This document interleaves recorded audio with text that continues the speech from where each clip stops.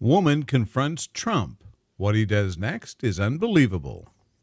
In the vibrant city of Silverwood, amidst a heated political rally, a significant confrontation unfolded that would capture the attention of the nation.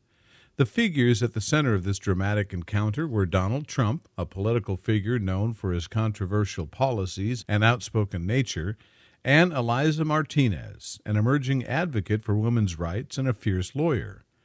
Eliza Martinez, with a background steeped in legal defense and activism, had long been a vocal champion for gender equality and women's health. Her activism wasn't limited to the courtroom. It spanned across national debates and grassroots campaigns. Known in certain circles for her tenacity and deep commitment to justice, she found herself drawn to the rally that day, intent on questioning Trump, whose stance on women's issues had been consistently criticized as insufficient and often derogatory. Donald Trump on this day was riding the high waves of his latest policy proposals, which had sparked widespread debate across the political spectrum. His supporters saw him as a no nonsense reformer who dared to say what many thought but feared to voice, while his detractors viewed him as a divisive figure threatening to deepen societal rifts. As Trump's oratory echoed through the crowded venue, Eliza navigated through the throng of supporters and protesters, her determination solidifying with each step.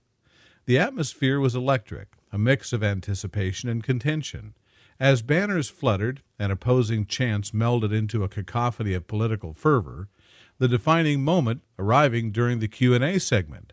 Eliza's voice, resonant and unwavering, pierced through the hubbub. Mr. Trump, your policies and public statements do not seem to support the advancement of women, she declared, her tone both calm and authoritative. How do you plan to actively support women's rights and address critical health issues facing them today? Trump, visibly taken aback by the direct challenge, masked his surprise with a quick smirk that did little to hide his irritation. Well, let me tell you something, he began, his voice booming over the crowd. I have tremendous respect for women. I've employed thousands of women in top positions across my businesses, long before it was popular thing to do so. He went on to list examples where he claimed to have empowered women, citing the appointment of female executives in his companies and his donations to women's charities. His response, while polished, was largely seen as a deflection from the specific issues Eliza had raised. Eliza, prepared for such responses, pressed further. Respectfully, Mr. Trump, she interjected, her voice firm amidst a mixture of boos and cheers from the crowd. Employment is not the equivalent of supporting women's rights. What about your recent comments that many found dismissive towards women, and your policies on reproductive health that many believe are regressive? The tension escalated as the crowd fell into a hushed silence, sensing the gravity of the exchange. Trump's initial composure wavered, but he quickly regained his stance. Look, I believe in protecting our women, taking care of them, he retorted, employing his familiar tactic of using personal anecdotes. My mother was a great woman, and I was raised to respect and cherish women. I will do more for women's health than has ever been done before. His answers were typical of his style vague promises and personal reflections that skirted the pressing issues at hand. But Eliza was undeterred. Promises are not policies, she shot back. We need concrete actions, measurable changes, not just platitudes. As the debate intensified, Trump, perhaps in an attempt to deflect criticism or genuinely intrigued by Eliza's tenacity, made an unexpected proposition. Why don't you come and work with me? Help me craft these policies you're so passionate about. If you think you can do better, come and show me. The offer stunned the audience and even Eliza herself, presenting an unexpected turn that blended both a challenge and an opportunity. Eliza, after a brief contemplative pause, responded with a poise that resonated through the crowd. It's not about individual achievements, she stated clearly. It's about collective progress, about genuine commitment to change, not just for photo opportunities, but for real, lasting impact. The rally ended with no clear resolution, leaving the crowd polarized. Some praised Trump for extending an olive branch, interpreting it as a sign of openness to dialogue. Others saw it as a mere tactic to silence a powerful critic. Eliza, for her part, emerged as a significant figure, a new voice for women's rights who had not only stood up to Trump, but had also articulated a clear vision for meaningful change. In the days following, the confrontation was dissected across various media platforms. Trump's campaign attempted to leverage the incident, spinning it as evidence of his willingness to engage with dissenting voices. Conversely, Eliza received a surge in support, becoming a sought after speaker and a symbol of resistance against political rhetoric that many felt marginalized critical issues. The encounter at Silverwood's rally thus became more than just a heated debate it evolved into a pivotal moment in the broader discourse on gender politics in America. For Eliza Martinez, it was a continuation of her lifelong battle for justice and equality. For Donald Trump, it represented a public challenge that could shape the narrative of his political engagements moving forward. As the nation watched and debated, the dialogue around women's rights was invigorated by the clash of these two formidable personalities. The day at Silverwood had glinted more than just political debate. It had sparked a movement, underlying the power and impact of steadfast advocacy and the unpredictable dynamics of political engagement.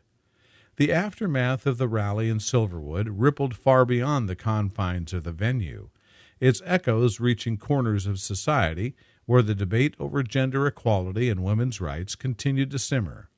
The encounter between Donald Trump and Eliza Martinez had not only sparked a media frenzy, but it also ignited discussions in academic circles, among policymakers, and within community groups, all dissecting the implications of their public confrontation.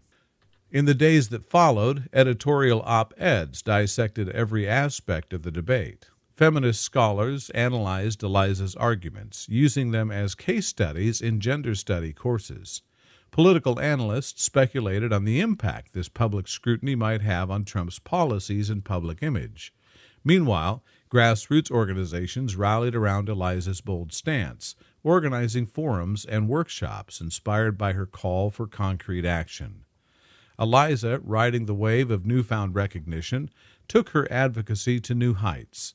She was invited to speak at universities, on television shows, and at international conferences. Each platform gave her a chance to expand on her vision for a truly inclusive policymaking process that prioritized women's rights at its core. Her message was clear meaningful change required persistent advocacy, informed dialogue, and an unyielding commitment to dismantle systemic inequalities. At the same time, Trump's team strategized on how to convert this challenging situation into an advantageous one. They organized interviews where Trump could clarify his stance on women's issues, attempting to soften his image by highlighting initiatives and planned policies aimed at benefiting women economically and socially. However, the public remained skeptical, craving not just reassurances but visible commitments and implementations.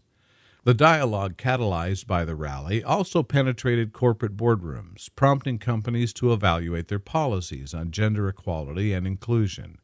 Eliza's relentless questioning and Trump's defensive responses had laid bare the often superficial nature of corporate commitments to gender issues, inspiring some companies to adopt more robust and actionable strategies. Moreover, the encounter inspired a series of documentaries and a surge in social media campaigns focusing on women's rights. These campaigns utilize clips from the rally to highlight the urgency of addressing gender disparity in politics and business, galvanizing a younger audience to join the cause and use their voices in innovative ways. Community leaders and activists drew upon the energy of the rally to organize more localized events aimed at empowering women at the grassroots level.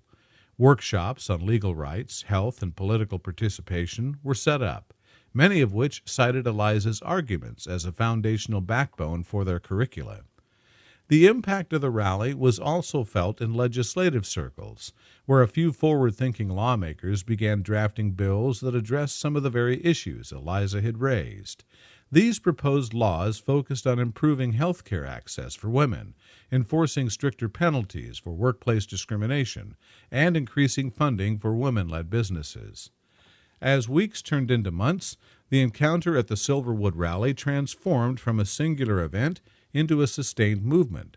For Eliza, it was a profound affirmation of her life's work, propelling her deeper into the national spotlight as a formidable advocate for women's rights. For Trump, it became a reflective mirror, presenting challenges and opportunities to redefine his approach to one of the most pressing issues of his campaign. The discourse that emerged from Silverwood was a testament to the power of vocal advocacy against entrenched political figures. It reminded the public of the critical role they play in demanding accountability and championing the cause of equality. Eliza and Trump, in their respective roles, continued to influence the national conversation about gender politics, each shaping the narrative in ways that would have lasting effects on the political landscape. The Silverwood rally, though just one day in the long fight for gender equality, had indeed sparked a broader movement, illustrating how a moment of confrontation could evolve into a catalyst for widespread change.